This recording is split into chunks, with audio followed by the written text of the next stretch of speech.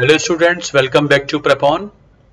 Uh, in the last lecture we have done quit India movement और फिर हमने देखा कि क्विट इंडिया मूवमेंट की शुरुआत में ही कैसे 9 अगस्त को सभी लीडर्स को ऑल ओवर इंडिया अरेस्ट कर लिया जाता है। They all were put inside the prison कोई भी नेता कांग्रेस का बाहर नहीं है। किसी तरीके से तीन चार महीने मूवमेंट चलता है लेकिन दिसंबर नवंबर तक आते आते फिजल आउट हो जाता है। उसके बाद 1942 से लेकर 44 तक बड़ी घटनाएँ नहीं हो पाती हैं। बड़े स्तर पर देखा जाए तो nothing was happening even though छोटे मोटे इवेंट हो रहे हैं। सी आर फार्मूला आया है, राजगोपालाचार्य फार्मूला आया है, जिसके बेस पे गांधी जिन्ना टॉक्स होती हैं। गांधी जी का 1943 में एक फास्ट भी होता है। These things for there but 1944 के सेकेंड हाफ़ के बाद फिर वॉर का डिसीज़न थोड़ा सा दिखने लगता है। और 1945 की शुरुआत में वॉर ख़त्म भी होने लगती है। 1944 में Wavell wanted to go for some kind of you can say negotiations with Congress and Muslim League but Churchill was not ready वेविल किसी कॉम्प्रोमाइज फॉर्मूले की तरफ़ बात करना चाहता है नेगोशिएशंस करना चाहता है, वो हालात समझ रहा था। 1943 में लिलित गाँव को हटा दिया गया था। Wavell had become the viceroy पर चर्चिल की तरफ़ से हरी झंडी नहीं मिलती है, लेकिन अल्टीमेटली जो हालात बनते जा रहे हैं, ऐसे में लगने लगा है कि अब बाई फोर्स सबसे इंपॉर्टेंट पॉइंट ये याद रखना है कि 1942 का जो क्विट इंडिया मूवमेंट था, उसके बाद ये तय हो चुका था India could not be held by force any more ये तो लोगों ने रिएक्शन में बता दिया था, भारत को जबरन अब अंग्रेज़ गुलाम बनाकर नहीं रह सकते it is a matter of time only ये वेविल ऑन द स्पॉट था तो समझ रहा था, Churchill was not relenting Churchill नहीं मान रहा है. अल्टीमेटली 1944 फाइव तक आते आते ऐसे हालात बनने लगे हैं और फिर होती है शिमला कॉन्फ्रेंस जून 25 से 14 जुलाई तक होती है शिमला कॉन्फ्रेंस जिसमें वेविल प्लान के बेस पे होती है शिमला कॉन्फ्रेंस तो शिमला कॉन्फ्रेंस में एक नेगोशिएशन किया गया है इंडियन पॉलिटिकल पार्टी से, कुछ सोल्यूशन निकालने की कोशिश की गई है not for independence but some interim solution तो वेविल ने शिमला कॉन्फ्रेंस में प्रपोज किया है reconstitution of viceroy's executive council याद रहे quit India I mean quit India के से पहले क्रिस्ट प्रपोजल आया था, वहाँ बोला गया था कि हम आपकी सरकार में ज़्यादा भारतीयों को ले लेंगे, लेकिन डिफेंस भारतीयों को नहीं दे सकते हैं। यहाँ चेंज किया है कि जो आपकी सेंट्रल गवर्नमेंट है एग्जीक्यूटिव काउंसिल है, ये टोटली इंडियन हो जाएगी।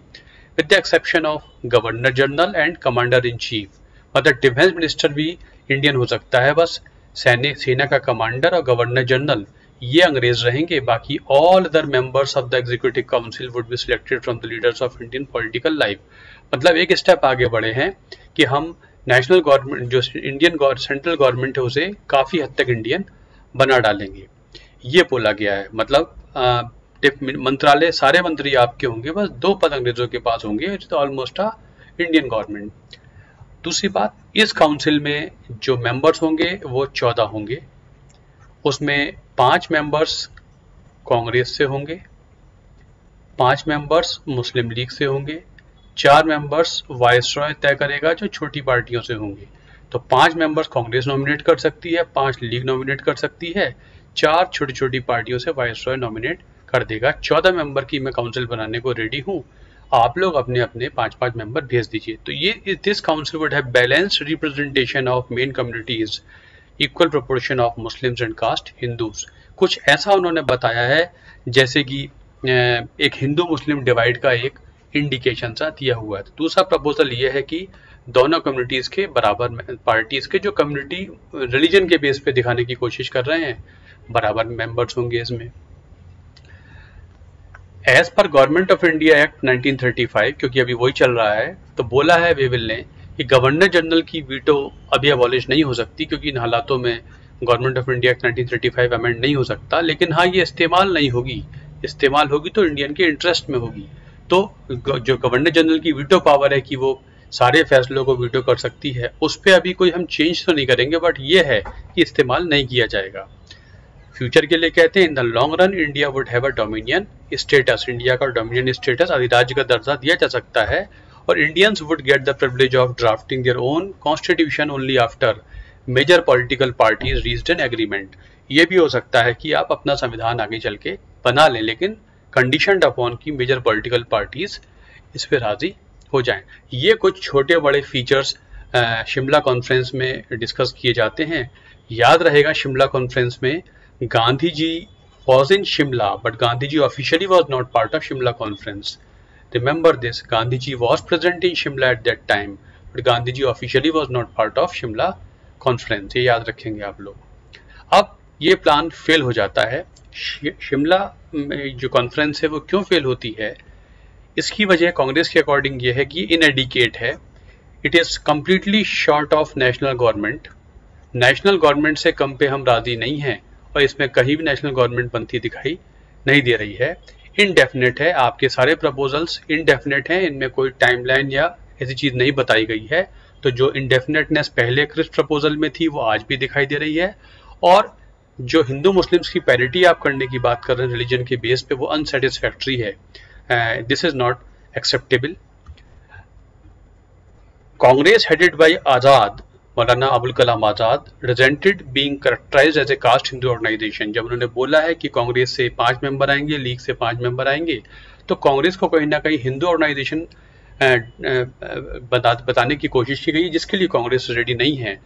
Good number of leaders were there in Congress. Incidentally Maulana Azad was leading the Congress delegation in the Shimla conference तो Jinnah wanted Congress to be dubbed as an Hindu organisation so that Muslim League का credential और पक्के हो जाए but Congress ready नहीं है, इसलिए unsatisfactory है कांग्रेस के लिए। कांग्रेस रेडी नहीं है एक्सेप्ट करने के लिए कि it it be dubbed as a Hindu organisation.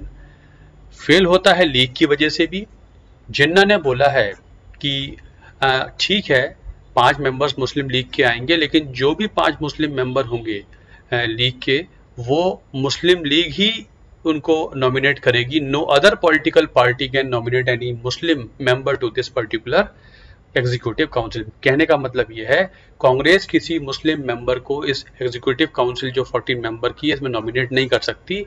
और जब लीग के पास ही ठेका है मुस्लिम्स को नॉमिनेट करने का, इसका मतलब Muslim League represents the interest of Muslims in India thereby I am paving the way for my own Pakistan based on religion ये वो कहने की कोशिश कर रहा है कि लीग को ही ज़िम्मेदारी दी जाए, उसके पास एब्सोल्यूट वीटो होगी कि लीग ही मुस्लिम मेंबर्स को नॉमिनेट करेगी। इस गवर्नमेंट में कोई और पार्टी नॉमिनेट नहीं कर सकती है। एक तो ये जिन्ना की डिमांड है। दूसरा, जैसे मैंने आपको बताया कि ये वजह हो जाती है।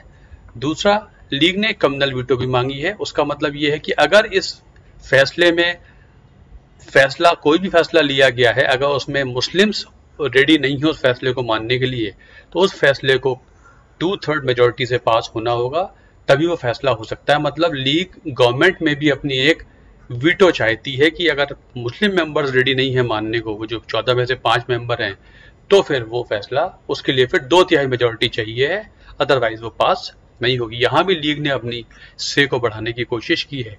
तो ये जो मेजर डिमांड मुस्लिम लीग की है कि मुस्लिम्स को नॉमिनेट करना है तो लीग ही करेगी और ये टू थर्ड मेजोरिटी चाहिए होगी अगर मुस्लिम सपोज़ करते किसी फैसले को। इस पे ओबियसली कांग्रेस और वे विल भी तैयार नहीं है।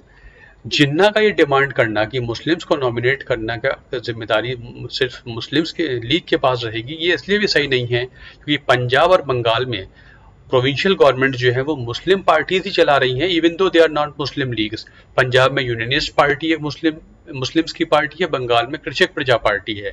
ओबियसली वे विल क्यों और मुस्लिम पार्टीज़ को फॉरगो कर देगा सिर्फ़ मुस्लिम लीग का सपोर्ट पाने के लिए? वो भी तो मुस्लिम से even though they are not Muslim League तो ये एक और वजह है कि जिन्ना के पास, जो जिन्ना का लॉजिक है वो अनफाउंडेड है सॉलिड नहीं है. तो एक वजह ये भी बन जाती है. अंग्रेज़ों की रिस्पॉन्सिबिलिटी ये है कि वो ठोस फैसला नहीं ले पा रहे हैं, वो अभी भी सत्ता छोड़ना नहीं चाहते हैं। उनको दिख रहा है कि यहाँ इरोजन ऑफ़ अथॉरिटी होता जा रहा है। Still they wanted to stick to India संविधान के सेटअप का कोई फ्यूचर प्रॉपर प्लान उनके इस शिमला कॉन्फ्रेंस में डिस्कस नहीं किया गया है। Wavell was ready to accept four nominees of the League one Muslim nominee of Unionist Party of Punjab Khizar Hayat Khan in the executive council but Jinnah was not ready to tolerate this and he insisted that all Muslim representatives would be chosen by League जैसे मैंने आपको पहले बताया Unionist party को भी तो Muslims के हैं, उनको लेना चाहता है वेबिल पर जिन्ना इसके लिए रेडी नहीं है। यहाँ पर वेविल भी कुछ खास नहीं करता है जिन्ना की बात को ऑलमोस्ट मान ही लिया जाता है। This way this particular conference came to an end It was clear that the British imperialists were behind Muslim communalism and were trying to encourage it against the rising tide of force of Indian nationalism. Churchill का ये मकसद था ही कि ये solution नहीं निकलना चाहिए तो उन्होंने जिन्ना की जो वीटो है जिसे कम्युनल वीटो कह दिया गया इस पे उन्होंने कोई बहुत ज़्यादा अपोजिशन नहीं दिखाया है ultimately the dissolution of the conference give Jinnah the communal veto in effect Thereafter, the satisfaction of the league became very very important for any kind of settlement. Shimla conference के failure के बाद ये समझ में आ गया है कि nothing which is not accepted by league will be solution to problem of India and league का जो फुटप्रिंट है पॉलिटिकल फुटप्रिंट है वो बहुत ज़्यादा बढ़ता जा रहा है and ultimately there will be partition of India this way because Wavell did not strongly oppose the communal veto being demanded by Jinnah rather उसको कॉन्फ्रेंस को फेल होने दिया इससे जिन्ना को एक मैसेज दे दिया है ना you can have your say in the decision that are to be taken for India. And this way, Shimla conference again failed. Fail हो जाती है शिमला कॉन्फ्रेंस सो और इसी के बाद वहाँ इलेक्शन होने लगे हैं जुलाई 1945 में जहाँ पर लेबर गवर्नमेंट फॉर्म हो जाएगी और लेबर गवर्नमेंट फिर फैसला करेगी जो इंग्लैंड की लेबर गवर्नमेंट है कि अब भारत को आज़ाद कर दिया जाए। इसके बारे में हम अगले वीडियो में डिस्कस करेंगे।